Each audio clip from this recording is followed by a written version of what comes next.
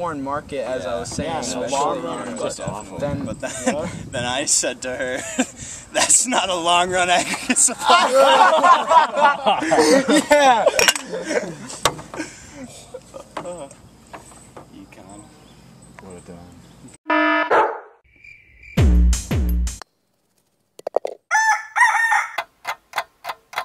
Hey you, over here. What's up? My name's Jailhouse James, alright?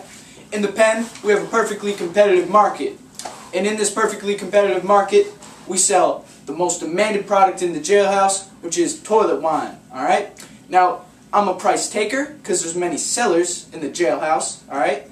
So, I will sell, I can sell as much as I want, and I'll receive the same returns, alright?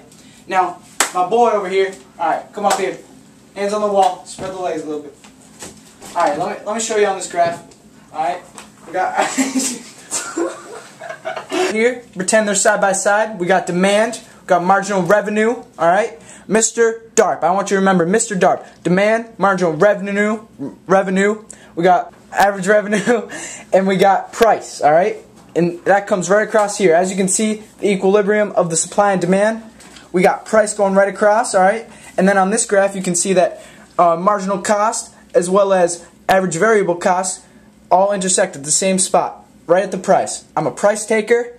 I get the same returns for as much as I sell. Thank you for coming in the pan. Me and this boy, we out.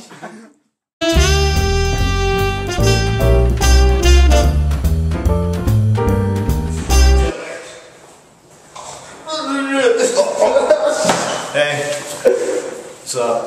Hi, I'm Nerdy Nick, and I'm gonna teach you about how to be a nerd. Yeah, teacher comes.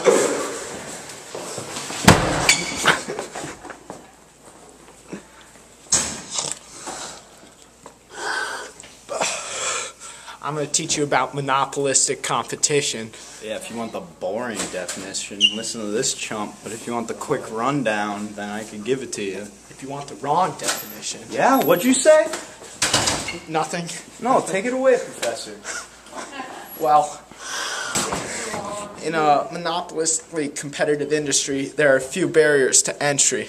The difference between perfect competition and monopolistic competition is product differentiation. Where's my calculator? This one? Yeah, give me that. Give me that. Well, so as you can see, products can differentiate by their quality, price, and design. Research and development and advertising are important in monopolistically competitive industries. Hey, chump, over here. Huh. Yeah. Yeah, no, not you. Not you. Alright, this is a monopolistically competitive market graph. Okay? So in this market graph, MR does not equal demand. Average revenue is demand. MR is here because of price, product differentiation, and advertising. I'm going to produce right here at this quantity and this price level. Got it, pal? Yes, sir.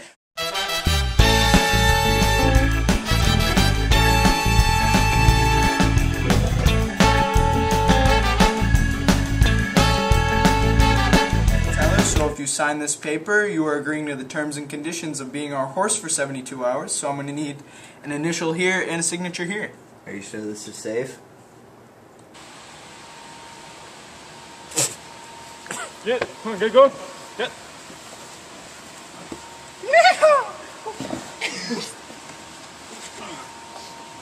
Howdy there. Yeah. Sorry for the noise over here, but uh, we're just doing a little railroad. But uh, let's make this a little bit more western. Hi, I'm Cowboy Colin. I'm the baddest cattle seller out here, despite what Dirty Dan thinks. There's only room for one cowboy in this town. There's only two of us cattle sellers in this here oligopoly. For you dummies, oligopolies are a market form with a limited number of sellers for a given product. I'm looking for the best price to charge for these here cattle.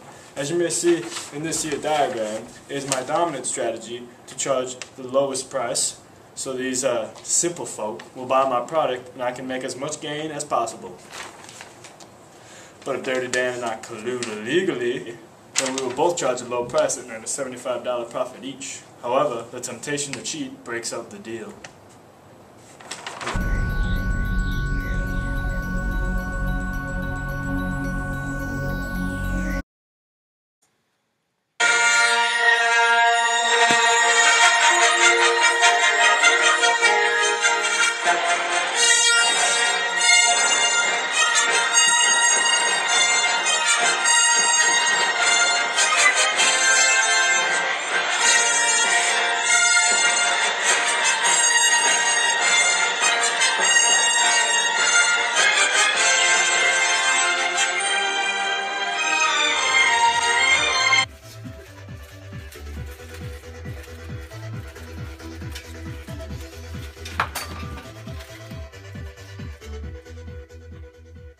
My name is Futuristic Freddy.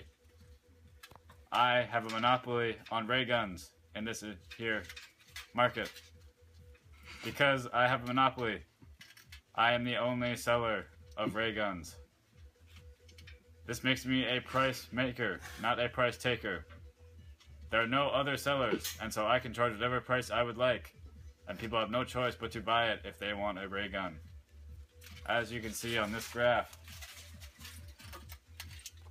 I will produce here and charge this price, price quantity produced, because it is where marginal revenue equals marginal cost here, except on the demand curve.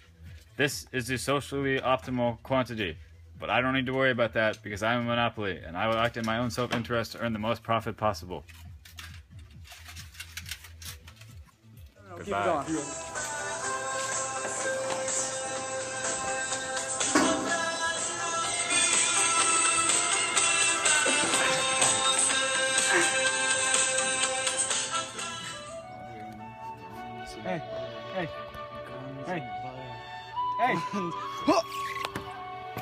Oh my god, guys. I had such a crazy dream. You, you all were there. There was there was robots and greasers and graphs and all these market structures, guys. Oh my god. You all were there. There was Nerdy Nick and Cool Calvin and Future Freddy and Cowboy Colin or Cowgirl Colin and Dirty Dan and there was a kid pretending to be a horse. How long was I out? Those are supposed to last two hours. What do you mean supposed to last two hours, dude? Oh, I drugged you. I gave you PPC. Why, why would you drug me? You told me to invest in Blockbuster, and I lost all my money. I thought you needed to learn a lesson, so I hope you dream and get some sense, dummy. Oh well, I I learned something, so Makes sense. that's all that counts, you know. Exactly. You guys want to go get some tea? Let's go get some tea.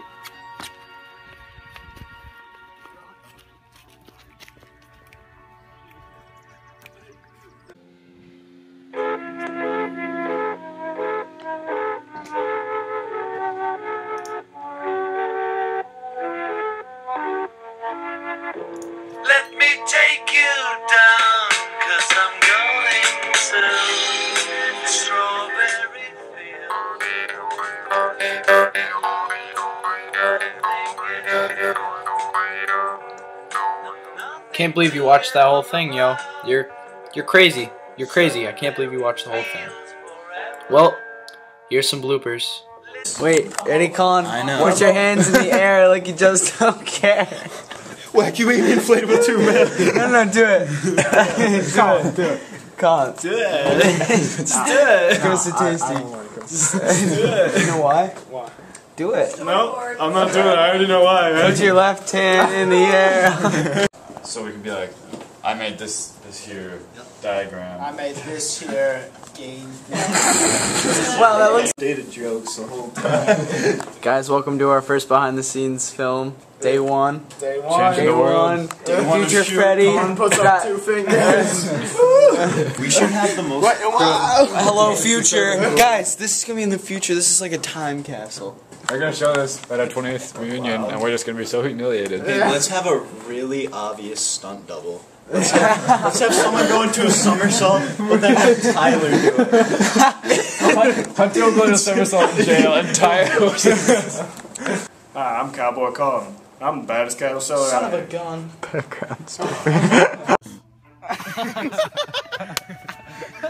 Hurry up! tip him over, tip him over. Stop. Should last about 18 hours. What? I drugged you. Hi,